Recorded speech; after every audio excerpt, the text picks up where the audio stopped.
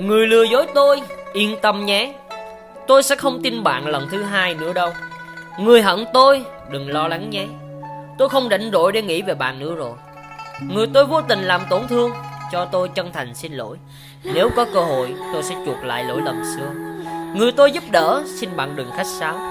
Vì tôi giúp người, Cũng giúp chính mình đây thôi. Người thương yêu tôi Tôi khắc cốt ghi tâm. Cả cuộc đời tôi gìn giữ bạn trong trái tim này. Người tôi thương yêu, Xin cảm ơn nhân duyên tao ngộ. Suốt kiếp mong chúng ta